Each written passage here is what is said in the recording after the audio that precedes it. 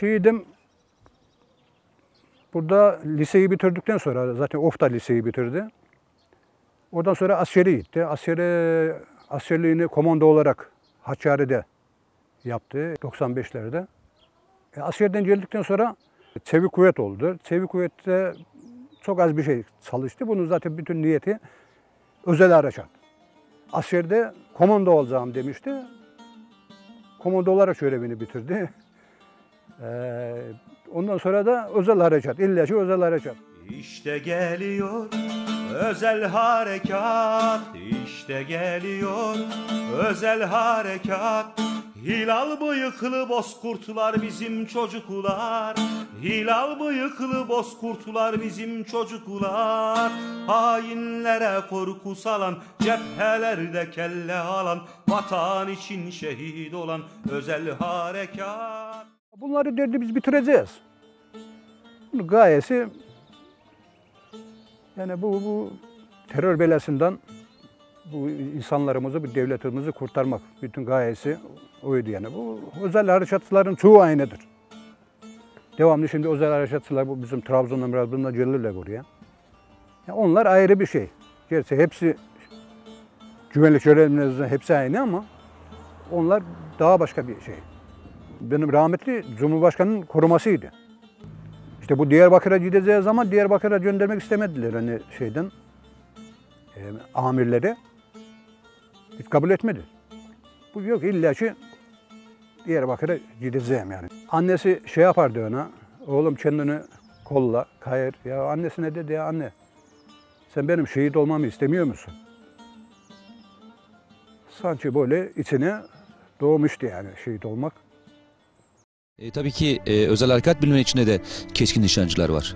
Şimdi birisiyle beraber e, son gelişmeleri onlara soracağız. Keskin nişancının ana görevi e, yerde ilerleyen personeli, sağ alan hakimiyetini ele geçirmeye çalışan personeli karşı taraftaki keskin nişancıların atışından korumak, e, hakim noktalarını temizlemek. Yani bu konuda da bizimle e, yarışacak pozisyonda değiller zaten. Hem kullandıkları teknik alet, edevat ve silah açısından e, çok daha üstün bir pozisyondayız.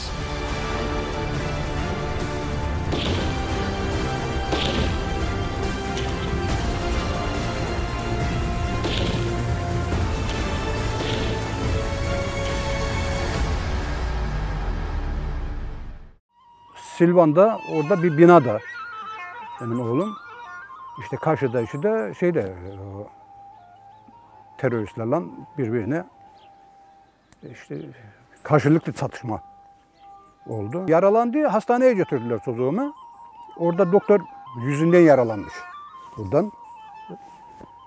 Doktor rapor vermiş ona, raporunu kabul etmedi. Tekrar aynı görevine döndü tekrar. Yani ben de çocukları orada onlar acemi macemi var tabii. Onları yalnız bırakamam dedi. İşte orada da Cenab-ı Allah şehitliği nasip etti ona.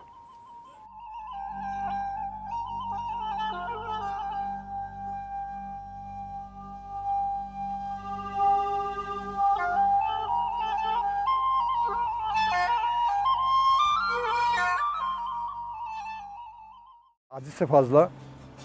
Bunun mükafatı çok büyük. Ya acısı, acısı da büyük yani. Bunun acısını unutmak mümkün değil yani bunun. İşte biz kendimizi böyle oyalıyoruz yani unutmak için. Biz inanç olarak şehitliğe inanmışız. Biz vatan olmaz da olmazsa biz biz olmayız yani. Biz şimdi başkaları gibi biz gidip de başkasının devletine gidip de orada yaşamamız bizim mümkün değil yani. Biz zaten bir yere de adamlar şey almazlar, kabul etmezler de. Biz devletimiz varsa biz de varız. Bu vatan sağ olduğu müddetçe biz de varız. Bu devlet için varız. Çocuklarımızı bu devlet için, bu vatan için büyütüyoruz. Gerekirse, gerekirse biz bile vatanımızı korumaya gitmeye hazırız. Bizim için önce devlet, önce vatan, önce bayrak, önce ezan. Bunlar olmadıktan sonra bizim yaşamamızın hiçbir değeri olmaz, kıymeti olmaz. Allah'a şükürler olsun. Devletimiz var olsun. Her ezaba katlaştım Atlanıp dağlar aştım Bir kurtla karşılaştı